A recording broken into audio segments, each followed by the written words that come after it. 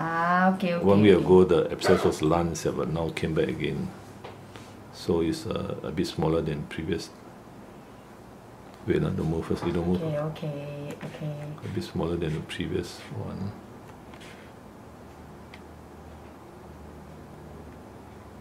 So the only solution is to lance it again and express a pus. Uh.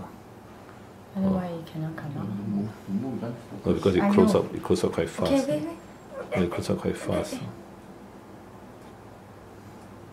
About four days, uh, the thing close up. Yeah, too fast. Uh. Some sometimes because hamster is healthy, so it closes up quite fast. Okay, okay.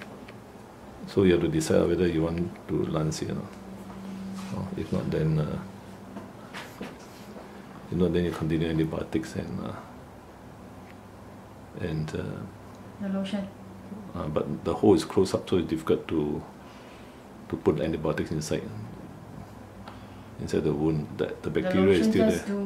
The eye, eye drops, yeah. Carry on giving the antibiotic lah, the, the jab lah. But you give six days already, right? Yes, but I don't give the. I, I mean, if I carry on giving, then I think I stop. Don't give the prednisolone because I don't think it's necessary already, right? Just the Mm. antibiotic lah.